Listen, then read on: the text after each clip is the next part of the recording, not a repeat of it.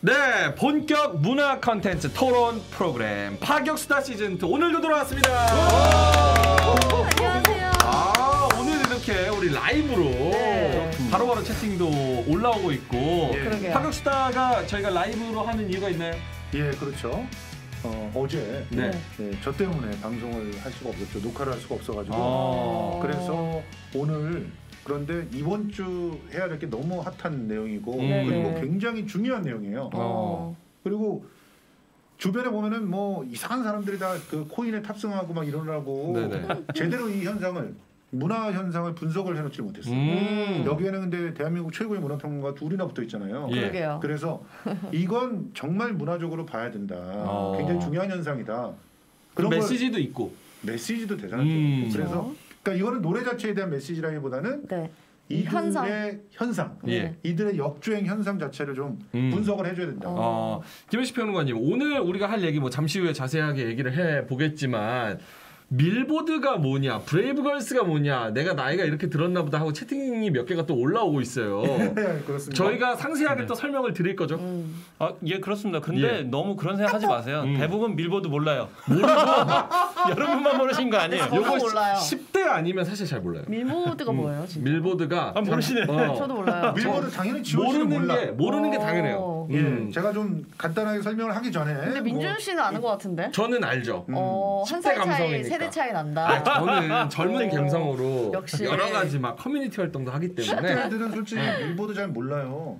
아 그 wording은 알죠. wording 밀보드라는. 아, 어, 그거 그러니까 알죠. 밀보드를 음. 너무 정말 자기가 몸으로 느끼고 사는 사람들은 사실은 네. 지금 군대에 있잖아요. 아. 그 군대 아, 밀리터리 밀리터리. 빌보드와 아. 밀리터리의 합성어예요. 그렇구나. 그래서 군대에서 완전 핫한 노래들. 예. 또막 군인분들이 사랑해 주시면 또 그쵸. 굉장히 인기를 음. 끌잖아요. 근데 사람들이 그럴 거야. 밀보드라는 거 뭐 그러니까 농담이야. 그런데 음. 실제로 농담이 아니에요. 음. 밀보드 차트라고 할 수 있는 공신력 있는 차트가 네. IPTV. 음, 거기에 이제 보통 사람들이 요즘에는 그래도 휴대폰이 있어서 그렇죠. 이것도 유튜브도 보고 그런데요. 음. 근데 음. 휴대폰 자체가 완전 차단됐던 시절이 네. 있잖아요. 네. 그런데 그렇죠. 이 친구들은 대중문화 콘텐츠가 너무 목말라. 네. 어. 그러니까 아침마다 일어나면 진짜 기상나팔 불자마자 아침에 IPTV 아. 보는 거야.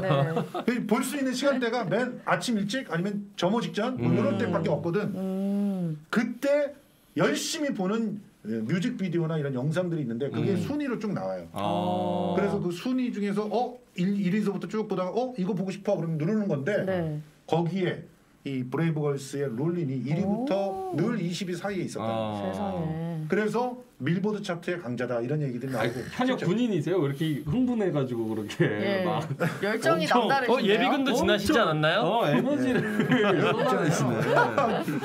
자, 민방위도. 지났어. 아, 민방위. 민방위도 지났어요. 그럼에도 너무 자세히 아. 알고 계시네요. 야. 알겠습니다. 네. 예. 자, 그럼 그 얘기는 좀 더 자세하게 나중에 해보도록 하고요. 예. 네. 김원식 평론가님, BTS 얘기를 지금 오프닝에서 안 할 수가 없다고. 그렇죠. 또 아름다운 선행 이야기가 또 기사로 올라오고 있습니다. 끊이질 않네요. 그러니까요. 어. 아, 사실 뭐 선행이야 늘 공개와 같이 달라붙는 거기 때문에 음. 사실 전하기도 힘든 그런 치원이 있는데 네. 사실 라이브 방송으로 매일 전에도 이 선한 영향력에 관련된 그뭐 소식들은 네. 뭐 방탄소년단뿐만이 아니고 팬들이 글로벌하게 만들기 때문에 그렇죠. 일일이 얘기하는 것 자체가 좀 거시기 하지 않나요? 어 떤 어떤 내용이에요? 뭐 전달만 해주세요. 뭐. 네. 그래서 이제 슈가가 최근에 이제 생일을 맞았잖아요. 그 네. 생일 기념으로 이 소아암 환자를 치료해가지고 1억을 어. 기부했다고 아, 이렇게 대단하다. 사실 기부는 너무 많기 때문에 네네. 음. 이걸 굳이 얘기를 해야 되나 뭐 이런 생각이 좀 맞아요. 들어가지고요. 솔직히 음.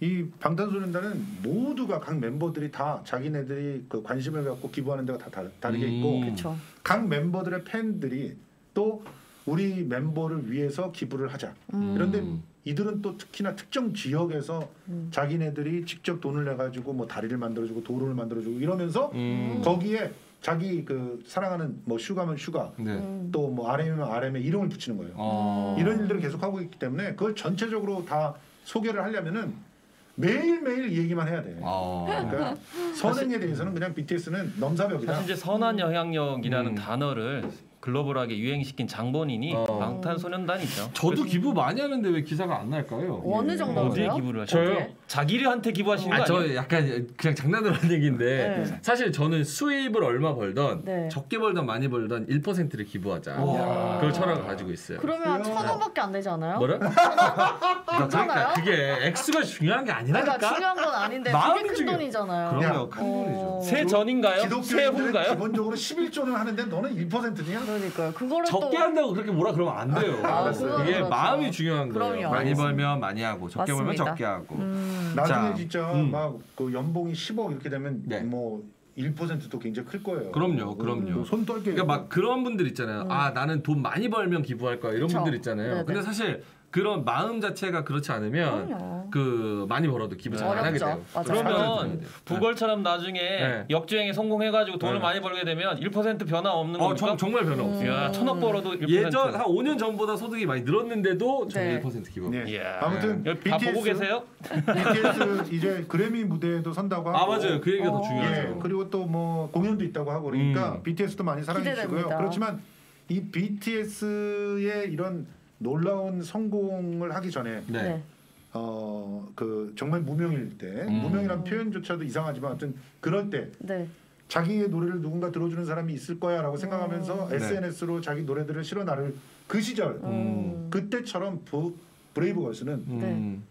자기가 설 수 있는 무대는 어디든지 가 섰어요. 어. 그래 그 그런 측면에서 BTS와 브레이브 걸스가 닮은 닮은 부분들이 상당히 많아요. 오. 음. 그리고 또 BTS의 팬들인 아미죠. 네. 여기는 진짜 찐 아미예요. real 진짜요? 아미. 세계 예, 말 6위의 그대로. 예, 네. 부대가 네. 군대. 어 military가 네. 예, 진짜 사랑을 합니다. 그래서 예, 이렇게 여러모로 또 비교가 되는 그런 어, 팀이라서 한번 음. 좀 오늘 집중적으로 그러니까 생각을 해보면 이제 예. 방탄소년단 같은 경우 맨 처음에 따라다녔던 타이틀이 음. 흑수저 기획사. 흑수저 가수라고 그랬거든요. 음. 마찬가지로 맞아요. 오늘. 시간에 다룰 수 있는 예. 예, 브레이브 걸스 같은 경우에도 여자판 어. 음. 흑수저. BTS예요, 맞아요. 예, 이렇게 볼 수 있습니다. 알겠습니다. 데뷔하고 이제 10년 만에 역주행 신화를 쓰고 지금 현재 완전 핫한 아이콘 음원 차트 1위 올킬 오늘의 주제는 걸그룹 브레이브걸스입니다. 아 브레이브걸스 약간 이름도 멋있어요. 네. 용감한. 네. 어 여성들, 여성들. 소녀들. 어, 그 소녀들. 이름이 들어가게 된 이유가 뭔지 아세요? 뭐예요? 용감한 만든 사람! 형제들이 만들어서 그런 거예요. 형제들이니까 용감한 소녀들. 용감한 형제. 예, 용감한 어. 형제가 뭐 사실은 그 작곡가로서는 정말 한 획을 그은 그렇죠. 그렇죠. 최고의 작곡가잖아요. 음. 프로듀서도 최고의 많죠. 프로듀서고 음. 그런데 자기가 이제 한번 만들어 봐야 되겠다. 음. 그래서 걸그룹을 야심차게 준비시켜서 데뷔를 시킵니다. 예. 그게 무려 2011년이에요. 진짜 말 그러니까. 그대로 꽉 채워서 10년 전이네요. 네, 2011년에 브레이브걸스 1기를 음. 딱 탄생시켜서 처음엔 내보냈을 때 화제도 많이 됐고 네. 네. 그리고 제가 이제 이들의 데뷔 앨범에서 툭하면이라는 노래를 기억하고 있거든요. 어. 툭하면. 어. 어, 이 노래가 약간 이제 제가 듣기에는 음. 이게 이 영턱스 클럽의 정의 느낌을 뉘앙스가 어. 나오게 음. 멜로디 구성이 약간 좀 레트로 저- 했나 본데. 레트로풍인데 어. 살짝 그 뭐랄까 뽕기가 있는 뽕기가 거죠. 있어요. 어. 네. 아, 툭하면 툭하면 그거 아니고요. 아니. 뭐 툭 하면 뭐 따- 따라다다다라 아 이게 노래가 내가 이 노래를 잘 배우 출신 아닙니까? 뮤지컬 배우 될것 아니셔가지고. 그러니까. 사랑한단 말이야. 어 지금 뭐 어. 좋아한단 말이야. 공격 대수가 확 이러면서 떨어지고 오. 있습니다. 마세요. 죄송합니다. 폭발하고 있습니다 지금. 네. 네, 죄송합니다. 툭하면이라는 노래가 네. 있었는데 그 꽤 괜찮았거든요. 그리고 음. 상당히 그래도 차트에도 있었고 그것 때문에 신인상도 받아요. 어. 그러, 그런데 그 다음부터 이제 하락을 하기 시작하는데 어. 네, 이제 그 하락의 이유들 이런 것들도 우리가 한번 탐구를 해보고 그러다가 2016년에 다시 심기일전해 가지고 네. 음. 2기를 다시 만듭니다. 그래서 오. 탈퇴할 사람 탈퇴하고 맞아 뭐, 멤버가 많이 예, 바뀌었죠. 멤버가 많이 좀 바뀌었죠. 바뀌고 네. 일 7인조로 갔다가 5인조. 또그 중에서 두 명이 또 나가기도 하고 그런데 맞아요. 어쨌든 처음에 2기의 처음 시작은 7인조였어요. 그리고 어. 정말 잘 탄탄하게 갖춰진 그런 전사의 모습을 보이자 그래서 음. 음. 7인조 멤버가 전부 11자 복근을 갖고 있었을 정도. 아. 와. 브레이브 걸스죠. 어 진짜 브레이브 걸스가 된 거지. 오. 근데 아, 만반의 그렇네. 준비를 했네요. 예, 역시 잘 안 되고 음. 어. 그러다가 두 안타깝다. 사람이 나가고 음. 그리고 이제 마지막으로 한번 뭔가 해보자 그래갖고 작년에 음. 작년 8월 14일에 하필이면 예, 운전만해라고 한 노래를 그것도 BTS처럼 어, 약간 어, slow 템포의 디스코로 아. city 팝적인 분위기로 이렇게 냈는데 그거 역시 예, 말아먹게 되고 아. 그래서 결국은 어, 해체 직전에 있었는데 그거를 네네. 역주행이 살립니다. 아니, 동영상 아니, 며칠 짐을 전에, 어, 어, 다 쌌다 예. 그러더라고요. 그러니까 며칠 전에 하나 1, 2주 전에 음, 네. 그렇게 짐을 싸고 이제 해체 얘기를 하고 있었다고 하더라고요. 짐을 이미 네. 뺐대요 숙소에서. 그러니까요. 뺀 예, 상황에서. 유정 씨 같은 경우는 뺐어요. 어. 뺀 상황에서 완전 꼬북자로 그 유명하신. 어 터져. 자 그러면 그 동영상 하나 그러니까 네. 역주행을 시킨 동영상 2월 24일에 올라왔어요. 음. 어. 2월 24일에 올라와서 지금 현재 785만인가 조회수를 자랑하고 있는 그 영상을 우리 안 한번. 같이 보자고요. 요거는 참고로 아셔야 될 게 팬이 예. 요 영상을 음. 댓글과 함께 같이 올려서 재편집 음. 뭔가 재편집한 그런 영상이에요. 교체 그러니까 이게 편집도 하고. 정확히 말하면 이분이 팬이라고 팬은 팬일 거예요. 근데 음. 이분은 주로 자기 그 영상을 어떤 걸 올리냐면 이런 댓글 모임 이런 거 올리는 그렇죠. 분이야. 댓글 네. 그래서 여러 그 케이팝 아티스트들의 음. 동영상에 대한 팬들의 반응을 음. 그거를 댓글 모임으로 올려서 뭐 여- 거기 보면 여러 팀들이 있어요. BTS도 댓글 모임 있고 그거 음. 장난 아니게 또 BTS 댓글 모임도 많이들 보셨는데 댓글 모음 음. 네, 댓글 모음. 음. 자, 모임이 아니고 바로 모이면 그- 안 돼요 요즘 알겠습니다. 5인 이상 모이면 안 돼서 알겠어요. 모임은 안 댓글로는 돼. 모으면 네. 되잖아요. 자 한번 보실까요? 우리 자 이거 한번 보면서 네. 우리 한번 느껴보죠. 아. 시작부터 인트로가 죽이죠. 네. 굉장히 신이 나요 일단. 아, 일단 표정에 아, 주목하셔야 돼요. 표정에. 유정 씨. 살아 있어요. 어 귀여워. 정말. 아니 웃는 게 너무 사랑스러워. 근데 예. 지금 저 처음에 앞에 보- 저기 누가 안- 서 있죠 이렇게? 서 있어요. 군인분들이 네. 왔을 때 너무 좋아하시네. 밀리터리죠. 야. 근데 지금 보시면 있어요. 이게 네. 전부 국방 TV에서 나오는 그러네요. 맞아요. 열차. 어. 음악 방송은 거의 없어요. 위문열차 국방 국방 TV라고 TV. 있죠. 국방 TV 이런 열차 동영상을 모아놓은 거고 네. 댓글이 진짜 재밌어요. 아, 군인들이 수십 수백 번 봤대요. 지금 따라하는 거야. 꽤참. 와. 좀 있으면 또 나올 텐데. 남, 대단해. 남성분 노래인 줄 알았어요. 예. 남자아이돌 노래인 줄 알았어. 와. 예, 여기 여기부터 난리가 납니다. 이, 이, 그렇죠. 네, 네, 네. 이러고 있어요. 거의 대동단결 수준 아닌가요? 그렇죠. 와. 포길 되겠네. 야, 그러니까 그걸로 대동단결. 땅에 금갔을 것 같아 진짜로. 저거 틀어주기만 하면 갑자기 사무 쓴다. 야, 저춤이죠, 저춤, 저춤. 네. 가오리 때 예. 미팅을 했다. 이렇게 가오리 얘기가 나오죠. 때 걸그룹식 등배 운동하는 법이래요.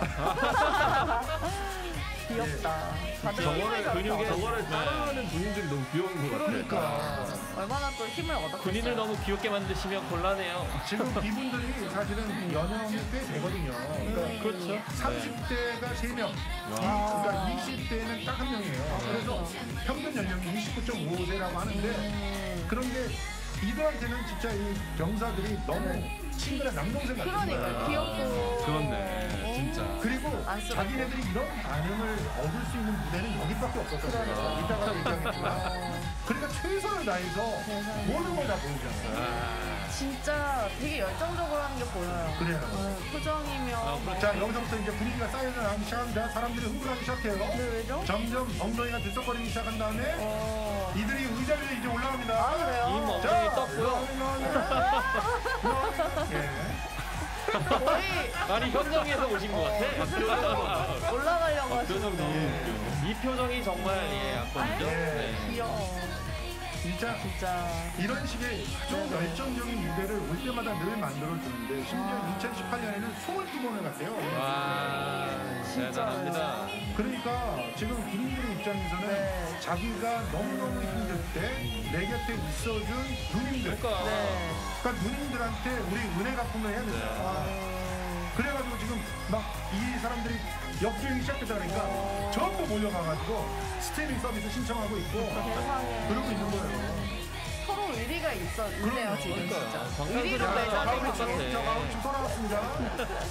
야 아, 댓글들 보세요. 네. 이 좋은 걸 남정네가 댓글이 하고 있는 있었단 말이야. 이런 얘기도 있어. 근데 노래가 어. 진짜 좋긴 좋아. 뭔가 기본적으로는 노래가 어느 정도. 그럼요. 그건 다들 알고 있는 대박이다 진짜. 거야. 야.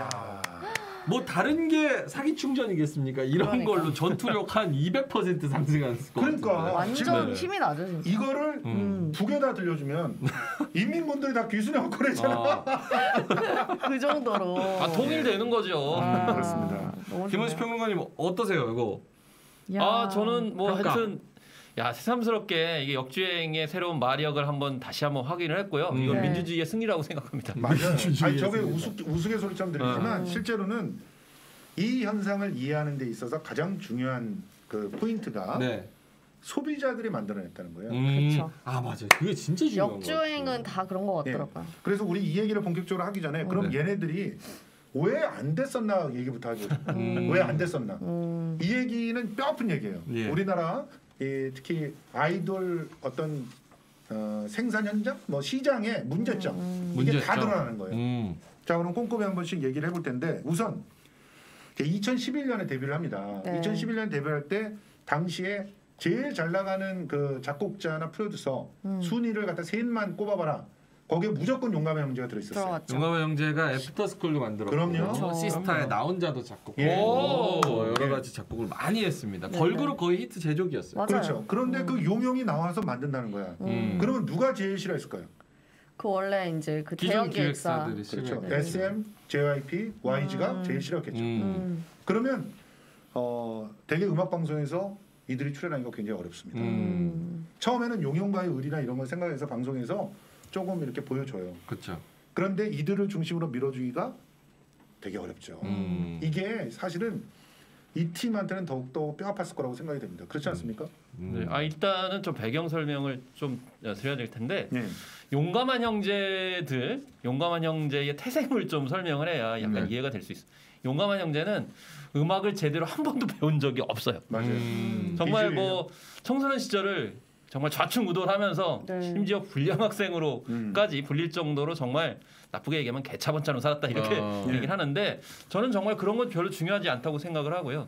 뒤늦게 음악을 하고 싶어가지고 그냥 음표도 볼 줄 몰라요. 음. 그리고 화성이 뭔지도 모르고 코드가 뭔지도 몰라. 음. 그런데도 불구하고 음악 작곡을 했고, 근데 그 음악 작곡이 어떤 이론적인 게 아니고 뭔가 해외 그럴듯한 음악들이 아니고 네. 사람들이 좋아하는 걸 감각적으로 뽑아내는 거죠. 그렇죠. 음. 그렇기 때문에 어떤 복잡한 이론적 추상적인 게 아니고 사람들이 와닿는 작곡을 할 수가 있었기 때문에 결국 음. 많은 사랑을 받았다. 그래서 음 악을 창작하고 유통하는 기본적인 베이스가 다른 거죠. 예. 음. 마찬가지로 그런 연장선상에서 용감한 형제들이 자기의 어떤 저- 정신을 따가지고 걸그룹을 만들었는데 용기 있는 소녀, 용기 음. 있는 뭐 이런 그렇죠. 식으로 하는. 거죠. 사실은 대형 기획사가 아니고 한국 사회에서 어떻게 그렇게 소녀들. 만들어가지고 음. 런칭을 시킬 수 있느냐 그 자체가 하나의 획기적인 사건이었다고 생각합니다. 음. 그러다 보니까 실제로 대형 기획사들 SM, JYP 또 YG에서는 긴장하게 되고 음. 견제를 하게 돼요. 견제를 하는 그런 그 상황 속에 놓이다 보니까 원래 용감한 형제들 자체가 작곡가이자 프로듀서이지 이 아이돌을 이제 제작하는? 한마디로 시장에 여- 그 정착을 시킬 수 있는 네. 홍보 마케팅 능력이 부족했었거든요. 음. 그러니까 계속 밀리기 시작하는 거예요. 음. 그래서 그렇게 밀리는 것들이 실제로 어디서 많이 드러나느냐? 애초에 이제 처음에 딱 데뷔를 할 때는 차트부터 올킬하고 시작을 해야 돼요. 네. 음. 이제 그런 것들을 만들어내기 위해서는 이제 처음에 인벌브를 할 때부터 음. 아주 오랫동안 노출을 착 시키면서 개별적인 사람들에 대해서도 다 인지도 시키고 그 심- 비용이 되게 많이 네, 들어가죠. 그렇죠. 심지어는 요즘에는 아예 그 오디션 같은 걸 갖다 자기네들이 직접 제작을 하잖아요. 음, 는 대형 그랬었죠. 기획사들. 응. 그러면서 거기서 각 멤버들을 갖다 전부 다 팬들을 다 만들어 놓고 음. 이들을 거의 노예처럼 딱 뜨기만 하면 무조건 그냥 스트리밍을 하루 종일 하고 음반을 하루 종일 팔아줄 수 있는 사람으로 만들어 놓은 다음에 딱 런칭을 한단 말이에요. 음. 근데 그러지 못했어요. 오로지 노래가 좋으면 되겠지. 근데 노래는 좋았다. 진짜 툭하면도 좋았고 그리고 뭐 그때 냈던 이들 노래가 지금 다시 그 사랑받고 있는데 노래들의 퀄리티는 용감한 형제들이 만들었으니까 좋을 수밖에 없었는데 네. 그런데 결국 이제 신인상 정도 이상을 음. 만들어내지 음. 못합니다. 음. 그렇게 되면 어떤 일이 벌어지는지 아세요? 이제 빈곤의 악순환이 시작돼요. 음. 그 다음 제작비가 없어요. 음. 그럼 그 다음 제작비로 해서 용감한 형제가 열심히 작곡을 하고 프로듀서를 해서 벌어야 돼. 그러면 자기 자식들한테 투자하는 시간이 줄어들어. 줄어들면은 또 홍보 마케팅이 제대로 안 되니까 두 번째 앨범도 또 실패. 이런 게 이제 반복이 되는 거예요. 음. 그래서 이제 제가 제목을 달면은 왜 북얼은 예, 군대에 갔어야 했나 이런 제목이에요. 맞아요. 음. 그러니까 뭐, 그러니까 사실 방탄소년단 같은 경우 처음에는 주목을 받아요, 반짝. 그러다가 결국엔 불러주지 않으니까 결국 해외 팬들의 연, 예, 연결이 돼가지고 해외로 오히려 많이 가는 상황이 벌어졌는데 해외로. 예, 북얼은 어떻게 됐냐? 군대로 갔어요. 음. 예, 군대로 갔는데 군대에도 이제 팬층이 엄청나게 있었던 거죠. 근데 아쉽게도 그때만 해도 군대에서는 인터넷을 자유롭게 못 하는 거야. 맞아. 그러니까 군인들이 뭐 음원 사이트를 갈 수 있습니까? 유튜브를 자유롭게 사용을 해가지고 뭐 직캠을 올리겠습니까? 음. 할수 있는 게 없는 거죠. IPTV 하나죠. IPTV는 그냥 일방적으로 보는 거기 그렇죠. 때문에 음. 쌍방향이 안 되다 보니까 그 진가가 드러나지 드러나지. 않고 이번에 좀 이제 드러나는 맞아요. 거죠. 음, 전 약간 좀 뭐라 그럴까요? 좀 아쉽다고 생각을 하는 게 왜 나왔을 때 음. 전략을 섹시로 잡았을까? 이게 그러게요. 아, 처음에- 망해도 처음에 걸망하고 약간 그러니까- 그래서 그런가? 처음에 섹시로 잡지 않았어요. 음. 처음에는 그래요? 사실은 약간 약간 센 소녀들 음. 그 정도로 어. 잡았거든요. 그래서 어디랑 겹쳤냐면은 그때 당시에 트웬티와? 2011년, 12년 이때 당시에 천하를 지배, 지배하고 있었던 팀들이 보면은 소녀시대라든가 어. 그다음에 그 이후에 레드벨벳이라든가 어. 이런 팀들이 장악을 하고 있었거든요. 네. 소녀시대, 소녀시대. 그러니까 소녀시대가 장악하고 있고 레드벨벳이 이제 막 나오고 이제 뭐막 나왔던 이런 때죠. 이러는 때예요. 아, 그래 그리고 소녀시대는 그때 이미 뭐 뭐 그 다 한번 다 해봤지. 여- 전사도 해봤고 그렇죠. 음, 뭐 귀여운 것도. 해봤고 다 그렇죠. 해봤어. 네. 다 해봤기 때문에 그들하고 완전히 차별화를 하지 못했어요. 음. 2011년에는. 그리고 나서 이제 2011년에 일기가 별다른 활동을 못하고 그렇게 된 결정적인 이유 중에 하나는 또 세월호. 음. 세월호가 뻥 터진 다음에는 사실은 거의 1년을 그렇죠. 거의 모든 그 엔터 회사들이 다 죽었습니다. 그쵸. 음. 그럴 수밖에 없잖아요. 전 네네. 국민이 전부 초당집인데. 그렇게 음. 되면서 일기는 사실상 어. 2014년 이후를 거치면서 거의 활동에 막을 내리게 돼요. 음. 그리고 나서 이제 2016년서부터 2기를 꾸립니다. 음. 일기들이 다 뭐 자진 차- 탈퇴도 하고 막 이러면서 다 정리가 된 이후에 음. 2기를 꾸릴 때 지금 오늘 얘기했던 이 뭐 유정, 유나, 음. 뭐또 민영, 뭐 이런 은지 이런 친구들이 들어가요. 음. 그래서 총 7명으로 다시 재기를 꿈꿉니다. 음. 근데 이 재기를 꿀때 정말 더 센 전삭 같은 그래서 정말 키도 늘씬늘씬하고 정보 막 무슨 뭐요 우리 그 그 영화 보면은 저 여전사로 잘 나왔던 그 언니 있잖아 사각 안젤리나 졸리. 안젤리나 졸리 안젤리나 졸리 일곱 명이 살리는 것 같았어 진짜 어. 그런데 그때 당시는 또 2016년 이후였기 때문에 트와이스 이런 팀들이 또막 장악을 하고 귀엽고 또 있었던 깜찍하고. 음. 귀엽고 깜찍하고 오히려 그런 쪽. 그러니까 네네. 어쩔 수 없이 2017년에 롤린을 내면서 네네. 섹시로 갈 수밖에 없었던 거야. 아. 아, 제가 이제 좀 설명을 드리면은 가장 뭐 용감한 형제 뭐 이어서 가지고 뭐 브레이브 걸즈 뭐 이렇게 말씀을 드렸지만 가장 빠지기 쉬운 여성의 당당함 중에 하나가 남성을 약간 흉내는 듯한 그런 음. 씩씩함이에요. 예. 그러니까 복근 뭐 이렇게 말씀하셨는데 네. 사실 씩씩한 거 여러 가지 종류가 있을 수 있는 네네. 거거든요. 그러니까 예를 들면 블랙핑크 다운 그런 음. 씩씩함, 자신감, 당당함 있을 수 있고 음. 트웨니원 방식도 있을 수 있는데 약간 노출을 하면서 복근을 드러낸 이런 방식은 음. 가장 빈틈인 것 같지만 음. 대중적 호응력이 많이 떨어져요. 맞아요. 특히나 오. 남성들을 대상으로 한 컨셉을 잡을 때는 네. 음. 항상 주의를 해야 된다. 제 주변에도 무술하는 그런 여배우 캐릭터를 네네네. 음. 잡는 분들이 꽤 있었어요. 맞아요. 성공한 예가 한 번도 없어요. 음. 맞아요. 왜냐면 그건 약간 오. 애매해지거든요. 음. 그래서 그렇구나. 섹시한 컨셉이나 뭐 어떤 소녀 아, 컨셉. 예, 소, 소녀 컨셉 그 사이에서 당당함을 추구하는 형태로 이렇게 착안을 하신 것 같은데 네네. 그런 점에서는 좀 아쉽다. 이에 이 말씀을 드리냐면 네.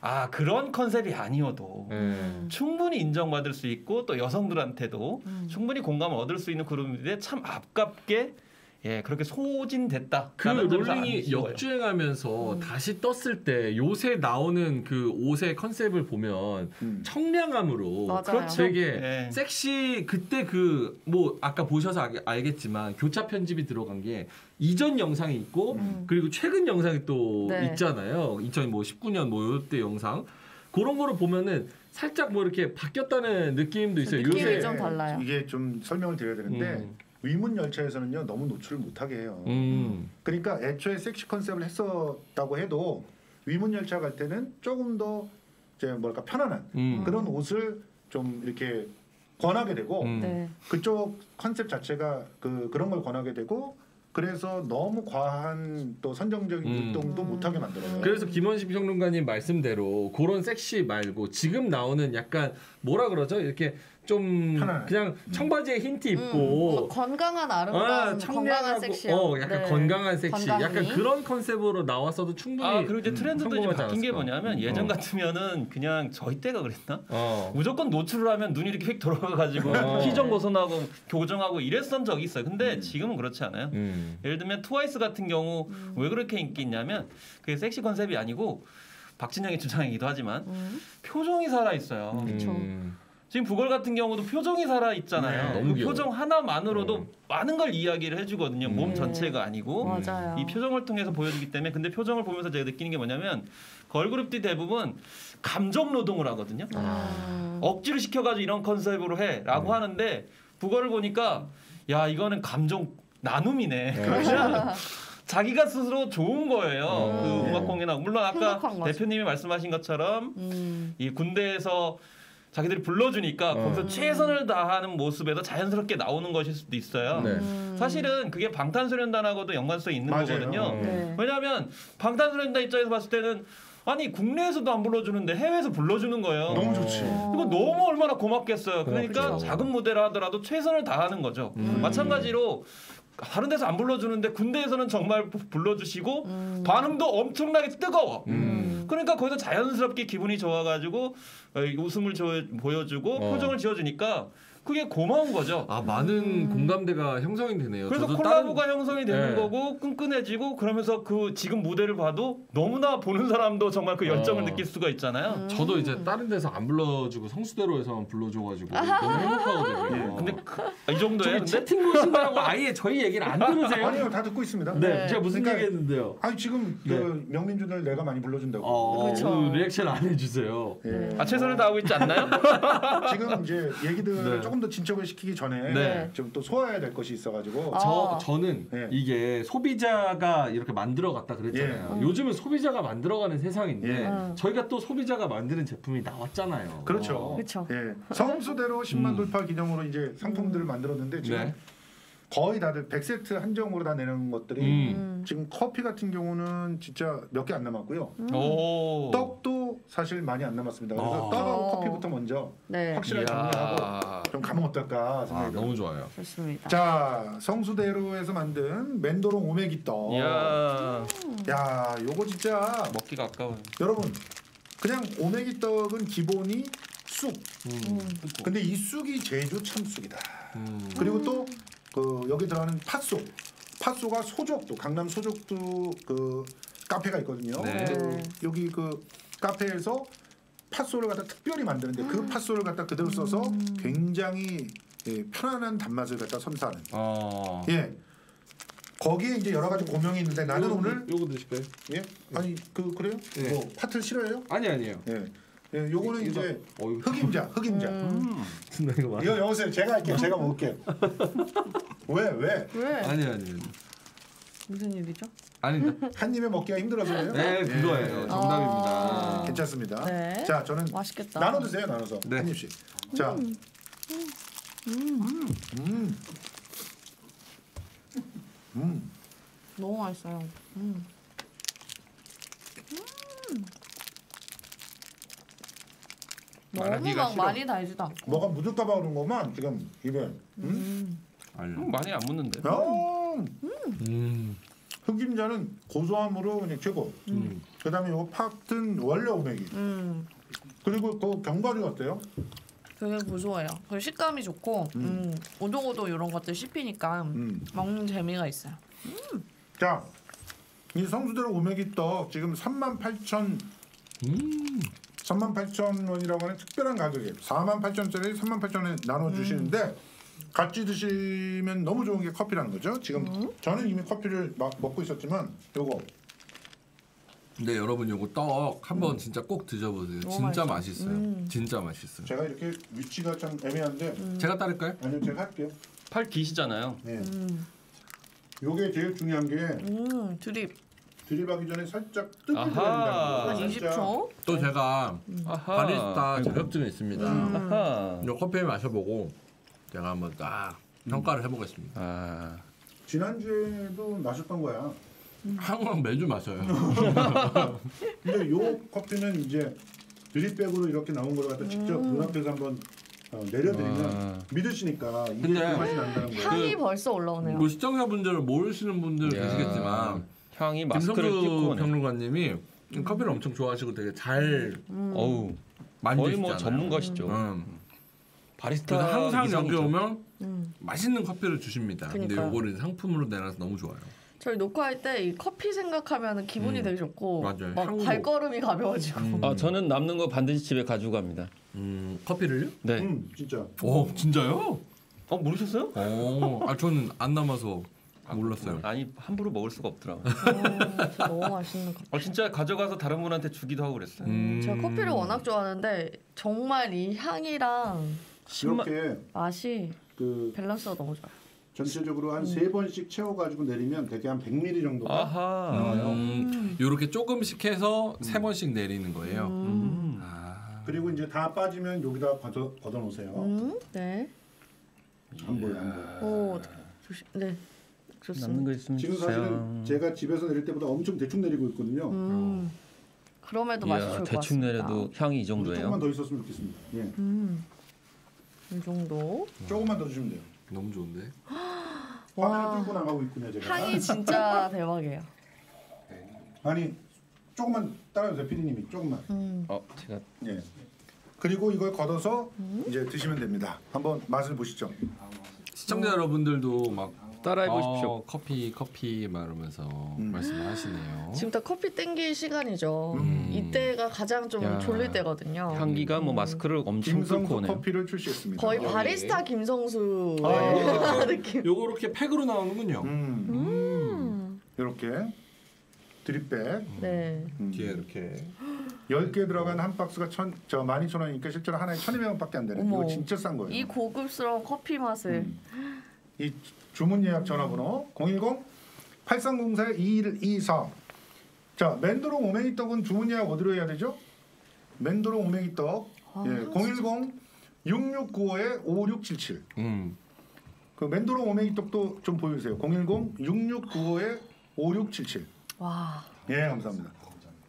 아, 다음 장 있어요? 예. 신맛이 없는데? 끝내줘요. 아, 여기 있구나. 여기 있다. 오메기 떡. 야, 맨도롱 오메기 떡. 커피 향이 진짜 대박인데요. 이거 같이 드시면 진짜 와. 좋아요. 떡하고 같이 먹으면 너무 잘 어울린다. 떡하고 금상첨화죠. 진하다. 진짜 좋다. 어때요? 부걸 부걸한테도 주고 싶다. 음. 너무 산미가 강하지도 않고요. 음. 이거는 진짜 대중적인 맛인 것 같아요. 그러면서 고급. 음. 사, 사실은 아주 대중적이진 않습니다. 이게 음. 이 원두 자체가 너무 비싸요. 그러니까 비싼 원두를 써가지고 아주 대중적이지 않지만 어, 진짜 비싼 원두인데 이렇게 저렴하게 지금 네. 내주시는 그러니까요. 와. 중간 유통 과정이 없잖아. 공장에서 어. 음. 저희들한테 바로 생산 어. 음. OEM 납품. 어. 그래서 저희는 그래도 그대로 이제 판매 그렇게 하니까 정말 쌉니다. 네. 어 불금쇼 예원님 아님 그러면서 매매소바님께서 얘기하는데 아, 맞습니다. 그분 안녕하세요. 맞습니다. 예. 어, 불금쇼도 나가셨어요? 예. 네, 아주 옛날에 오. 네. 뭘로 뭘로 그냥 게스트로 나갔죠. 게스트로. 예. 음. 영민준 씨 지금 불금쇼 매불쇼 나가고 있잖아요. 네.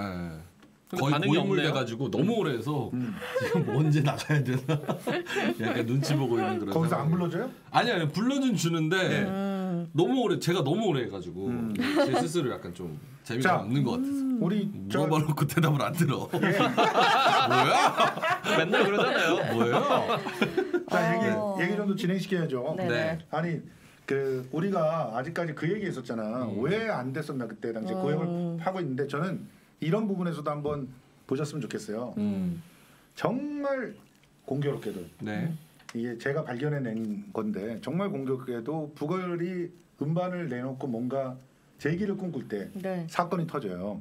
음. 어, 어떤 사건이냐? 네. 지금 뭐 2016년 네. 2016년에 새 앨범을 내거든요. 음. 새 앨범을 내고 그다음에 2017년에 야심차게 네. 롤린이라고 하는 노래를 냅니다. 랄랄랄랄라. 어, 이거 방금 전에 보신 거. 아, 이거 좋아요. 며칠 날 발매할게요. 모르겠어요. 3월 7일. 얼마 전에 오. 그래서 4주년이 됐어요. 근데 내놓고 나서 3일 만에 무슨 일이 있었을까요? 탄. 퀴즈 내볼까? 자, 3월 10일 상품은 김성수 안. 돼요. 피디님께서 안 된대. 자, 3월 10일 날 3월 10일 뭐였지? 탄 헌법재판소에서 어. 탄핵. 예, 박근혜 대통령 탄핵을 합니다. 어, 그게 3월이었어요? 예, 그게 3월 10일. 그러니까 발매를 하고 3월 10일 날 그런 정치적인 어마어마한 오. 사건이 터지니까 전반적으로 대중음악 콘텐츠들에 대한 관심이나 소비가 떨어져요. 음. 그 상태는 무조건 1등, 2등만 나갑니다. 그래서 그때 당시에 3월 달 내- 내에 1, 2등들을 보면 레드벨벳이 1등 하다가 뭐 그 다음에 트와이스가 1등 하다가 음. BTS가 1등 하다가 다시 또 레드벨벳이 1등 하다가 여자친구 잠깐 올라오고 뭐 이런 느낌이에요. 어. 그러니까 기본적으로 어, 오마이걸도 잠깐 올라오고. 어, 그러니까 네네. 여기서 싸움이 브레이브걸스 같은 경우 끼지를 못하는 거예요. 어. 그냥 그야말로 탄핵의 어떤 유탄을 맞은 그런 팀이라고 봐야 돼요. 제가 보기엔 그래요. 음. 그리고 2020년 8월 14일 날 운전만해를 냅니다. 그리고 그게 사실상 실패하기 때문에 네. 숙소에서 짐을 빼기도 하고 그런 운전만 건데 해요. 예, 운전만해를 오. 2020년 8월 14일에 내요. 어, 이것도 지금 역주행하고 있죠. 예. 네. 근데 그 8월 꾸준히 15일에 활동을 무슨 했네요. 어, 8월 음. 15일에 무슨 일이 있었는지 아세요? 8일로. 8일로. 근데 음. 광화문에서 광화문 집회. 광복절 집회. 예. 아. 광복절 집회 이후에 코로나 창궐. 음. 1,200명까지 올라갔죠. 그런 상태에서 뭐가 할 수 있겠어요? 그러니까 발표 시기가 굉장히 운이 좋지 않았네요. 아. 그렇죠. 아, 솔직히 안타깝다. 말해서 쉽지 않네. 부걸이 8월 14일 날그 앨범을 내기까지 무슨 일이 또 중간에 있었냐면 2020년 1월에서부터 코로나가 오고 위문 열차라는 방, 방영 자체가 음. 금지. 음. 위문 열차 무대가 사라졌어. 그렇죠 코로나 때문에. 그래서 7월 말에 이제 그게 다시 재개가 되면서 야 드디어 그러면 앨범을 내도 음. 우리가 홍보를 할 수 있겠구나 음. 하고 부랴부랴 발매를 한 게 8월 14일이었는데 세상에 8월 15일 날 할아버지들이 광화문에서 네. 그러고 나서 또 태풍 오고 난리가 났잖아요. 음. 이러면서 사실상 활동을 접어야 되는 상황까지 왔으니까 제가 개인적으로 생각할 때는 부걸의 앞길은 우익들이 많이 막았다. 아. 그런 생각이 좀 듭니다. 그런 건가요? 네. 그러면 김원식 평론가님 이렇게 역주행에 내 얘기에 대한 반응은 왜 안 해주는 거야? 왜? 내 것도 안 했으니까. 복수 혈전. 울고 뜯는 것들이 녹화가 되지 않고. 아니 뭐 설명을 너무 잘해주셨으니까. 어. 그러면 그런 힘든 상황이었는데 음. 지금 김원식 평론가님 지금 중요한 건 핵심은 지금 역주행 아니겠습니까? 네. 역주행을 하게 된 이유가 뭐예요? 그 원인이 뭐에 있다고 보세요? 아, 일단 이제 뭐 어떤 현상이 새롭게 있을 때는 트리거가 있는데 이제 네. 방아쇠가 있는데 뭐 사실 핵심적인 방아쇠는 유튜브 채널에서 아까 말씀하신 음. 편집에서 올린 건데 중요한 거는 일종의 요즘에 보복 소비라는 단어들이 많이 네네, 유행을 하잖아요. 그렇죠. 저는 보복 팬심이 작용했다 이렇게 아, 보는 거거든요. 맞습니다. 눌려있던 팬심이 폭발했다. 네, 일단 여러 가지 원인은 있지만 그때 당시에 군인의 신분에 있던 분들이 네. 그 영상을 보고 이제 뭐 예비군이나 아마 빠르면은 민방위까지도 가지 않나? 하여튼 모르겠는데. 민방위까지는 몰라도 네. 내비군 드릴 거예요. 전부. 네. 다. 음. 그러면 아 그때 못했던 한 뿌리를 지금 보복처럼 성원을 보내고 있다 저는 생각이 들어요. 맞아요. 네, 4년 전에 정말 내가 좋아했는데 이거를 어떻게 표현할 수 없었고 딱 나와 보니까 어 굉장히 잘 안 돼? 이건 뭔가 잘못됐다. 어. 바로 잡아야 된다라고 출동했다고 생각이 들거든요. 그러니까 이게 트렌드 용어로는 저는 mz 세대의 새로운 어떤 재발견이라고 저는. 생각이 들어요. 예. 그러니까 mz 세대가 밀레니얼 Z 세대잖아요. 네. 지금 현재 20대 후반에 한 30대 정도 되는데 이분들은 재발견을 잘해. 음. 음. 맞아요. 그리고 스스로 내가 가치 부여를 해가지고 의미가 있다 그러면 음. 막 띄워줘. 맞아요. 어. 그리고 분신 같은 거죠. 왜냐면 자기 처지하고 비슷한 거. 아니 나는 열심히 했고 실력이 있는데 와. 왜이 사회가 기회조차 안 주고 오히려 엉뚱한 사람들이 기회를 다 어. 차지하고 그러니까 이건 안 된다. 그래서 어떤 동병상련, 네. 음. 공감 뭐 이런 것들이 작용을 해가지고 음. 되지 않았나. 그러니까 그래서. 제가 그- 지금 우리 음. 네, 평- 우리 평론가님이 너무 잘 정리해 주셨는데 이들이 갖고 있을 때 그 솔직히 이들한테 물어봤을 때 삶을 하는 데 있어서 가장 중요한 가치가 뭐라고 생각합니까? 그러면 이제 공정이라는 얘기 많이 해요. 음. 이 친구들이 그런 본인도 그렇게 생각하죠. 그럼요. 저도 그렇게 생각하죠. 나 공정한 기회를 부여하지 못하고 있다. 나는 이거 매블쇼에서 받을- 난 누- 공정하지 못하다 대접이. 나 그런 얘기 한 번도 안 했어요. 네, 그러니까 네. 이들이 이 부걸이 아직도 저러고 있는 건 공정하지 못하다라고 보는 거예요. 아 맞네 진짜 그런 그 원인이 있네. 뭔지 모르지만 음. 공정하지 못해. 쟤네는 뜰 자격이 있어. 어, 음. 나는 저들 때문에 그 힘든 군 생활을 음. 견딜 수 있었는데 그리고 저 노래가 뭐 후죠? 혹은 뭐 노래를 못해 메인 음. 보컬의 지금 저 음역대는 엄청난 거거든요. 음. 그리고 각자가 음색들이 다 조화가 잘 돼가지고 구색이 정말 괜찮아요. 음. 그러니까 용영이 프로듀싱을 했는데 그러면 허투루 했겠냐고요. 우리나라 최고라니까. 그런데 그게 왜 안 될까?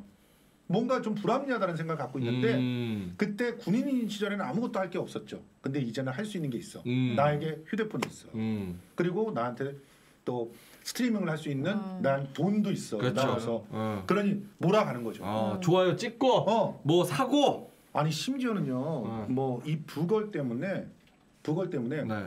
꼬북자 있죠. 꼬북자. 꼬북자. 꼬북자 팬이 웃음이 예쁜 꼬북자. 네, 이 꼬북이 칩이라고 있어요. 음, 꼬북칩. 꼬북칩 알죠? 네. 네. 야, 몇, 몇, 몇 맛있어요. 겹이다. 맛있죠, 되게 맛있죠. 맛있어. 네. 근데 그 꼬북칩에 예, 꼬북자를 모델로 써라. 어. 그러면서 이 회사의 주식을 3천만 원어치를 삽니다. 와. 어, 행동하네요. 그래서 마이너스가 몇 퍼센트가 났는데 그것까지 다 보여주면서 자 니네들 수준이 이래 지금 어. 내가 3천만 원을 투자했는데 이렇게 손실 봤지 이 사람으로 이 사람으로 교체를 하면 떡상할 거야. 어. 그러니 제안서를 써서 보내요. 어. 그 정도가 아니에요. 운전만해 이거 같- 되겠네. 운전만해 같은 노래로 음. 도로공사에다 제안서를 보내요. 어. 운전만해라고 한 노래가 있는데 이거 네. 진짜 그 이 북어를 갖다가 선택을 네. 해서 홍보대사를 하면 얼마나 잘, 돼- 잘 나가겠니? 음. 가사가 운전만해인데 음. 그래 그래서 보낸다니까. 어. 대단하다. 정말 적극적으로 자신들이 스스로 PD가 된 것처럼 합니다. 음. 저는 이제 문화의 이게 변동이라고 생각이 드는데요. 예를 들면 이제 박근혜, 이명박 같은 그런 구체제에서는 뭐냐면 자기들끼리 짜옹을 해가지고 음. 예를 들면 박근혜 정권이 뭐 어떻게 삼성 불러다가 자기들끼리 짜옹해가지고 뭐 재단 만들고 뭐 그렇지. 해가지고 음. 공작을 하는 거잖아요. 사실 주류 기획사들도 마찬가지예요. 그럼요. 대규모 자본을 들여가지고 방송국과 뭐 이렇게 유통매체를 짜옹을 해가지고 스타를 만들어 놓고 거기에 일단 이너스클이 되면 승승장구 평생 먹고 살고 음. 그래서 기득권을 놓치지 않고 그런 어, 와중에는 실력 있는 사람들은 배제되고 이게 사실 문화의 변화인 거거든요. 아까 말씀하신 것처럼 그래 88만 원 세대 그래 88만 원 세대가 그냥 남아 있을지 않을 거야. 그러면서 자기들 스스로 움직이는 거거든요. 그렇죠. 그 팬은 결국 누가 만들어내느냐? 그런 어떤 진정성과 실력 있는 사람이 만들어내지만 음. 또 팬들이 스타를 만들어내는 이 아. 선순환의 고리를 보여주는 한 현상으로서 브걸을 봐야 된다. 맞습니다. 지원 씨 약간 그런 것도 있잖아요. 이 브레이브걸스가 뜨면서 네. 그 시즌비시즌에서 음, 비가. 케이크를 줬어요. 거기서 이제 버텨줘서 고마워 이렇게 어, 맞아요. 케이크를 줬는데 비가 얘기한 게 이제 아이돌 많은 수많은 정말 몇만 명의 그 아이돌 연습생들이 있잖아요. 맞아요. 그 현역도 있고 음. 그 사람들한테 이제 그분들한테 버텨라. 음. 버티면 결국은 언젠가는 빛을 발할 날이 온다. 음. 빛이 뜰 날이 온다. 희망을 가지고 버텨라. 이렇게 얘기를 했는데 네. 팬들 입장에서도 맞아요. 사실 지금 젊은 분들이 힘든데 버티는 분들이 굉장히 많잖아요. 그렇죠. 그러면서 자기와 그거를 투영해서 그렇죠. 음. 본인에 대한 그런 마음을 여기에다가 팬심으로 표출하는 그런 김원식 평론가님의 말씀도 음. 정말 공감이 갑니다. 아니 그러니까 맞아요. 사실 중요한 게 지난번에 영화 애니 저 영화이자 애니메이션인 네. 소울 얘기할 때 음. 그 어디서 있다 하더라도 그 자체가 굉장히 소중하다 이렇게 말씀드렸잖아요. 마찬가지로 이제 인터넷 시대 그 정말 박근혜 이, 어, 이명박이 싫어했던 인터넷 매체의 가능성은 뭐냐면 어디서 작은 매체에서 뭔가 이야기를 하면 그게 정말 소중하고 진정한 가치가 있으면 언젠가는 알아봐 준다는 거죠. 마찬가지로 북얼도 그 국민들이 보는 정말 잘 보지 않는 그 외진 데서 열심히 진정성을 다 하니까 음. 특히나 이 코로나19 상황 속에서 공연도 제대로 못하는 상황 속에서 아까 장면 보셨지만 와 코로나 상황에서 보니까 너무 열정적이고 음. 그 자체가 치유가 되잖아요. 그런 음. 것들이 보이지 않는 곳에서 열심히 하면은 뭐 진가를 알아준다 이런 걸 참고로- 많이 생각해요. 참고로 이제 지금 이 영상을 그러니까 역주행의 트리거가 됐던 영상을 만든 비디터라고 하는 분 네네. 구독자 수가 몇일까요? 몇이에요? 7만 4천인가 그랬어요. 제가 어, 봤을 때. 근데 조회수는 어 조회수가 김성수 700 TV보다 훨씬 적네요. 훨씬은 아니지만 하여튼 아 네. 저보다는 조금 적단 말이에요. 그럼에도 불구하고 조회수는 조회수 가 785만 와. 그리고 100만 넘는 조회수가 많아요. 이게 다 뭐냐면 이 뭐 이 유튜브라고 하는 특성도 있고 네. 그 유튜브를 활용하는 사람들의 어떤 그 성정도 있는 음. 건데 철저하게 음. 자기가 관심 있어 하는 것들을 적절하게 찾아가려고 노력하는 참여하는 그런 민주주의적 관점 음. 이 관점이 이런 영향력들을 만들어내는 거예요. 이게 음. 힘 있는 쉐리들끼리 샤발라가 돼가지고 지들끼리 나눠 먹는 그런 세상에서는 상상을 못하는 거죠.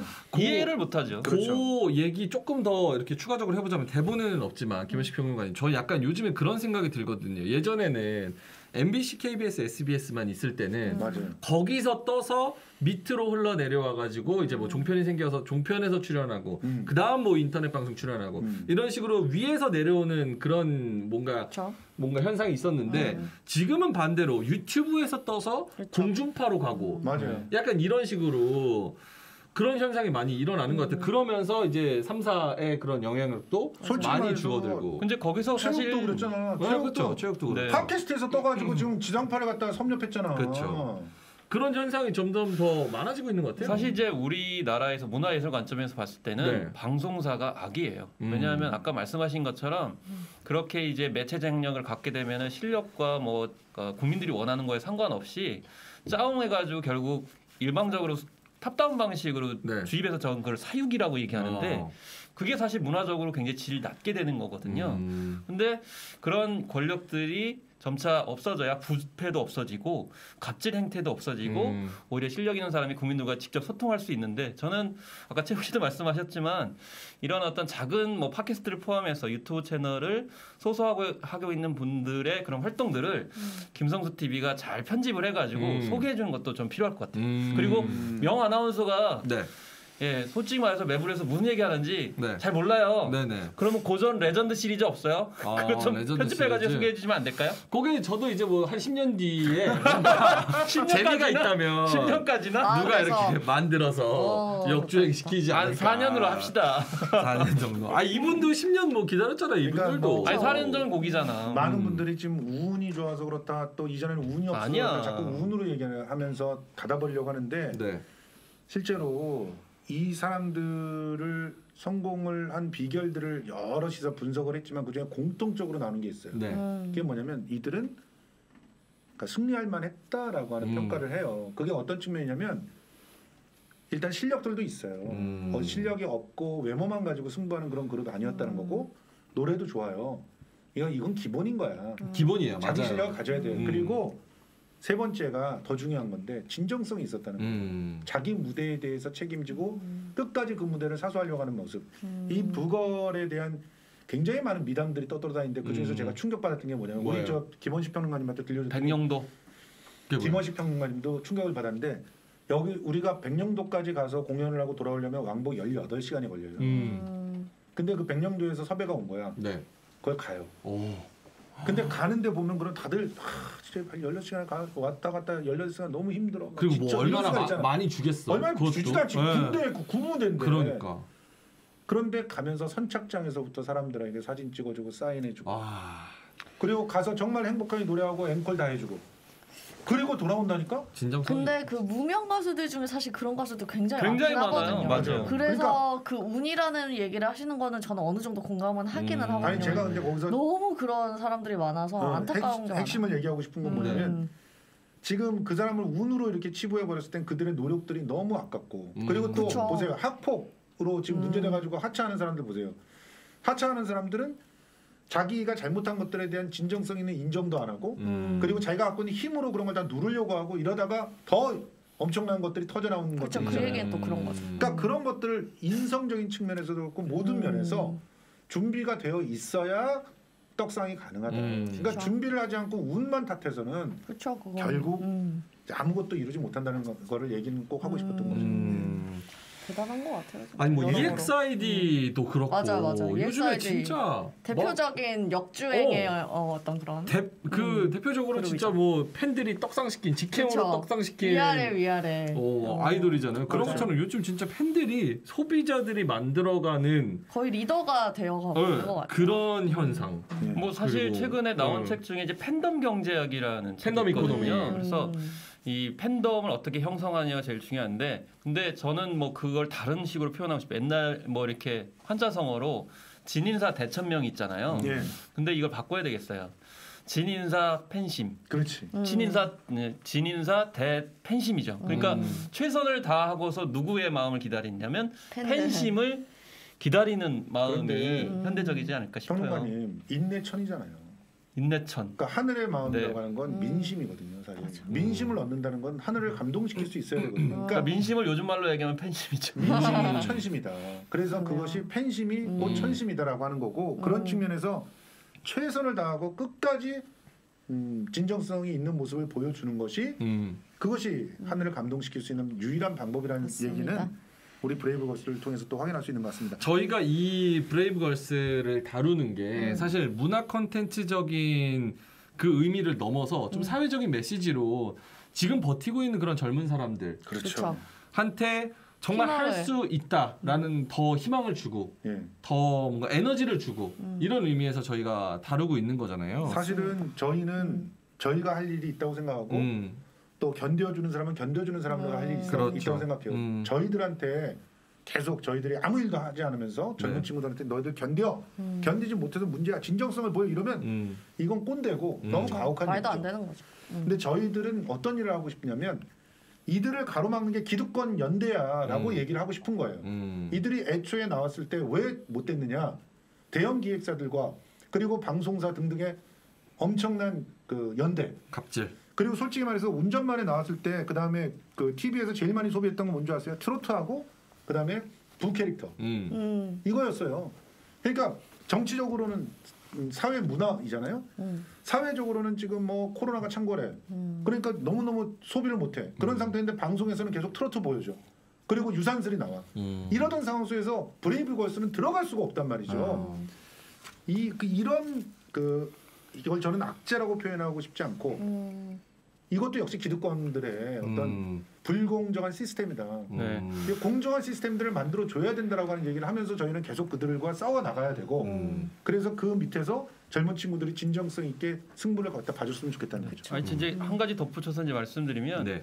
위기 상황 속에서는 이제 기득권의 대세주의에 따라서 약자들이 피해를 보게 맞아요. 되는데요. 마찬가지로 케이팝도 이런 연장선상에 지금 대세주의에 있는 대형 기획사 소속의 가수들은 뭐 덜 타격 있는지 모르겠지만 소속사가 없거나 정말 아, 존재감 자체를 인정받지 못하는 가수들은 너무나 힘든 거죠. 그 상황 맞아요. 속에서 될 만한 건 되는 트롯만 튼다고 하는 상황 속에서 제 2의 제 3의 부글 같은 존재들이 지금 이름 없이 사라지고 있다라는 현실에 코로나 상황 속에서 그런 약자들이 피해를 보는 상황을 부거를 통해서 다시 한번 성찰해야 되지 않나 그런 생각이 좀 들어요. 그래서 요 타임에 우리 그 견딜 수 있는데 벗이 될 수 있을 만한 상품을 뭐예요?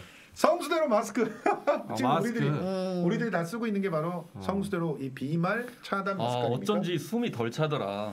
이게 KF-AD 비말 차단 마스크예요. 음. 그래서 기본적으로 이렇게 KF94 마스크보다는 훨씬 더 숨쉬기가 편하고, 편하고. 그렇죠. 그리고 KF-AD는 많이 안 남으니까 음. 중국에서 대량 찍어와. 어. 근데 이거는 진짜 내가 공장까지 가봤는데 우리 부평에 있는 공장이고 음.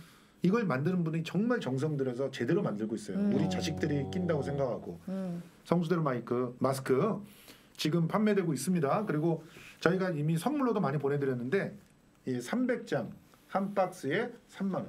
음. 이것도 역시 8304 이하나 이사로 주시면 됩니다. 와 저렴하네요. 네. 한 장에 100원이라 100원이에요. 너무 좋네요. 진짜 싸다. 어. 100원으로 살 수가 없다니까 이 정도 quality를 음. 그렇죠. 중국 거나 뭐 100원대 올 거야. 음. made in Korea인데. made in Korea면 무조건 150원, 200원 가요. 음. 그런데 공장에서 직접 저희들한테 제공해 주시고 10만 음. 돌파해 가지고 그걸 좀 도와주고 싶어서 음. 같이 만드신 거니까 여러분 많이 사랑해 주십시오. 이것도 지금 몇 개 안 남았어요. 그러니까 음. 미리 미리 빨리 빨리 챙겨 주시길 바랍니다. 음. 그리고 하나 더 네. 우리 이 착한 보험 클리닉. 음. 음. 이 착한 보험 클리닉 진짜 이 재난이 가득한 세상에서 보장 자산을 확실하게 챙겨 놓는 거 음. 이게 너무 중요하거든요. 네. 여러분 전화 한 통화 해보세요. 그러면 지금 나한테 꼭 필요한 보장 자산이 무엇인지를 음. 알려주십니다. 음. 알겠습니다. 예, 이렇게 짧게 그냥 알겠습니다 하고 갈 거야. 그럼 뭐 어떻게 해요? 리액션도 안 하고 보험 클리닉 최고예요. 네. 자, 요 그러면 우리가 마무리를 이런. 현상을 좀 봤을 때 음.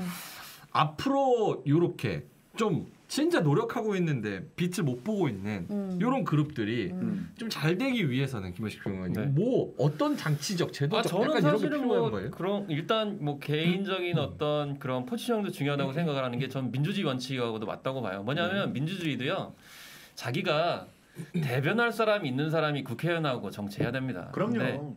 대변할 사람이 없고 지지해 주는 사람도 없고 아무 관심도 없는데 예전처럼 중앙당에서 찍어가지고 낙하산처럼 정치하는 거 하지 말고요. 음. 왜이 말씀을 드리냐면 부걸은 자기가 원하는 사람 팬이 군인이라 하더라도 네. 가서 그분들이 원하는 대로 굉장히 좋은 그 컨텐츠를 보여줬기 때문에 그게 나중에 선순환이 돼가지고 돌아오는 거거든요. 음. 그렇기 때문에 그 선순환의 역학 구조. 그러니까 정말 뭐 그럴 듯하고 뭔가 대단하지 않는다 하더라도 나를 원하는 사람 혹은 내가 할 수 있는 부분들을 최선을 다한다고 하면 그게 인터넷 시대의 어떤 long tail 관점에서 봤을 때는 반드시 snowball처럼 크게 굴러올 수 있는 구조를 음. 만드는 게 제일 중요하다고 보고요. 예. 또 그거를 trigger처럼 이렇게 런칭 시켜주는 노력들 김성수 TV 같이 이런 TV가 좀 많아지는 게 좀 필요하지 않나 왜냐하면 아까 명 아나운서가 말씀하신 것처럼 네.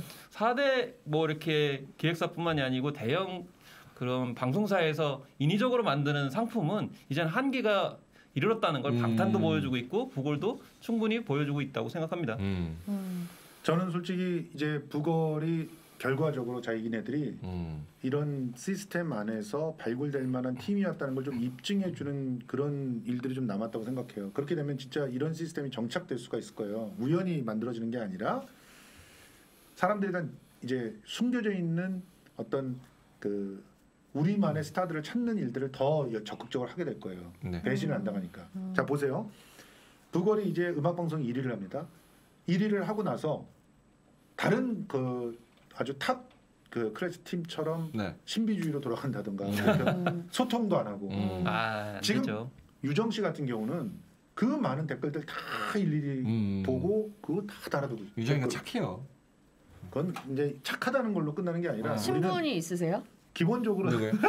유정 씨하고. 방금 봤잖아요. 어, 우리 다 같이 네. 봤잖아요. 그러니까 친한 소통 거보다. 소통의 마인드가 있다는 예. 거예요. 아. BTS가 네. 아미들이 아무리 늘어나도 네. 뭐 자기네들이 직접 팬들과 소통하는 시간을 꼭 갖잖아요. 네. 변하지 않는 것처럼 네네. 그걸도 변하지 않았으면 좋겠다. 음. 그렇게 변하지 않으면 어떤 일이 벌어지느냐? 자기 팬들이 나만의 스타들을 갖다 찾아서 음. 재발견하겠다라고 하는 음. 그런 욕구들이 더 커질 것이고 맞아요. 그런 것들을 어디로 따라갈 수밖에 없냐면 트로트가 막 성공하니까 모두가 다 트로트 제작했잖아요. 음. 그런 것처럼 여기서 막 부거리 성공하는 것들이 사례로 몇 개가 더 나와 음. 이걸 중심으로 해서 방송을 만들어갈 수밖에 없는 상황이 또 만들어질 거예요. 네. 이게 시장을 재편을 누가 하느냐 팬들이 한다는 거죠. 네. 그런 것들이 만들어지기 위해서라도 음. 팬들은 팬들대로 더 정말 이 부걸과 함께 더 행복하시길 바라고 부걸은 변하지 않으면서 자신들이 옳았다라고 하는 것을 인정시켜 준다면 네. 음. 이 구조가 또 다른 선순환이 돼서 대한민국의 이제 엔터계의 시장의 어떤 시스템을 음. 조금이나마 바꿔놓지 않을까 그런 생각들이 좀 듭니다. 알겠습니다. 다른 제 2회, 제 3회 또 예, 열심히 노력하는데 음. 빛을 기다리고 있는 부걸이 나오기를 기대하면서 우리 네. 오늘 좀 한 줄 평으로 마무리를 좀 해 보도록 할까요?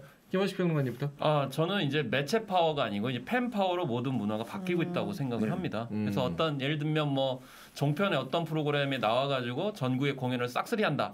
이거는 저는 문화 지체고 사라져야 될 거라고 보고 아마 올해는 지금 파워가 없는 것 같아요. 제가 봤을 땐. 그래서 어, 작은 수라도 이 팬들을 어, 향한 그런 팬심을 가지고 있는 누구라도 전 정치인도 마찬가지라고 생각이 듭니다. 모든 것이 여기서 출발한다. 팬 파워를 어, 잊지 말자. 뭐 이렇게 음. 정리하겠습니다. 김선수 평론가님은요? 예. 성수대로가 부걸이다 이런 생각이 들어요. 무슨 소리예요? 아니 실제로 저기 저희들도 네. 음. 애초에 이 방송을 시작하게 된게 네. 대형 어떤 시스템들을 갖고 있고 음. 거기에 이제 낙하산으로 사장으로 오시는 분들이 네. 음. 저를 갖다 자르고 이러니까 어. 아니다 나도 나 내가 직접 팬들을 만나고 싶다.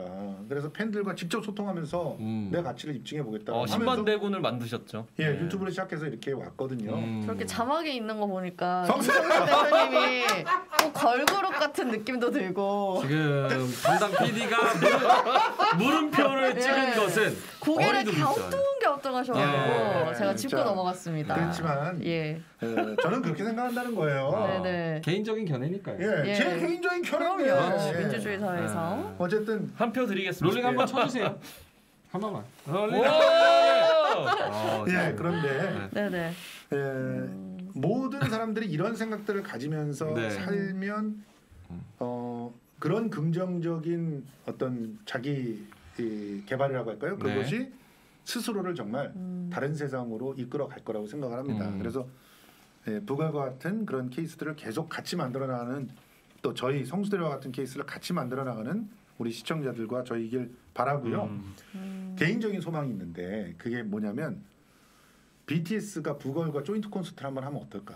여기서요? 음. 아 여기서는 안 그래도 그리고 성수대로에 한번 부걸이 출연해 주는 건 어떨까 이런 음. 생각도 해봅니다. 그리고 어 쟤는 부걸을 갖다 집중적으로 얘기해서 그렇지 불과 같은 팀이 계속 있어요. 아까 지원 씨가. 얘기한 것처럼 계속 네. 많아요. 맞아요. 제가 특히 또 인정하는 그룹 중에 하나가 여자친구들인데 어, 이 친구들도 비가 올 때 자빠지고 깨지고 다리 부러져서 바- 음. 강, 저 부목하고 나와서 노래하고 이런 것들이 팬들을 사로잡아갖고 지금 그 위치에 올라갔거든요. 맞아요. 네네. 이제 물론 이렇게 위험하게 그 애들을 됩니다. 불리면 안 된다라고 생각을 합니다만 네. 어쨌든 그들의 진정성이 하늘에 닿았다. 음. 이런 일들을 계속 만들어 주십사 하고 음. 부탁드립니다. 알겠습니다. 지원 씨는요?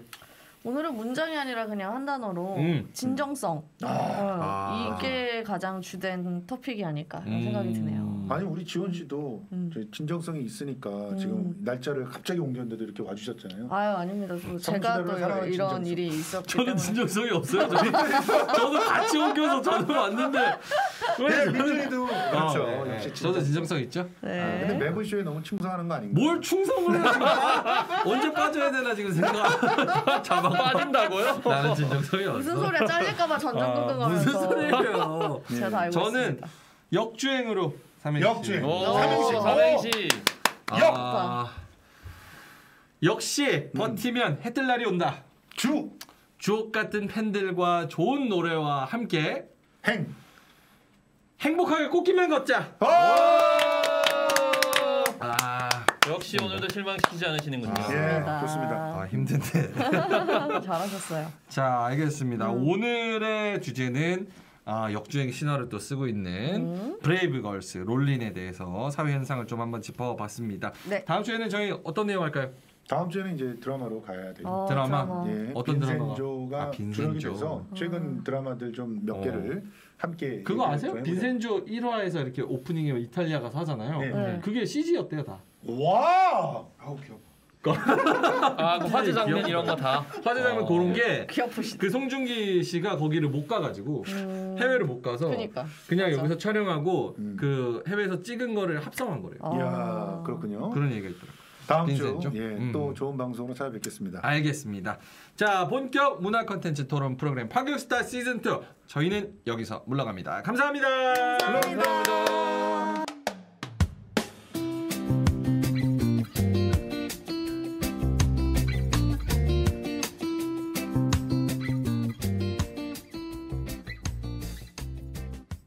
방송 어떠셨나요? 방송에 대한 의견과 댓글들 많이 많이 남겨주시고요. 좋아요와 구독도 부탁드립니다. 이상 유지연이었습니다.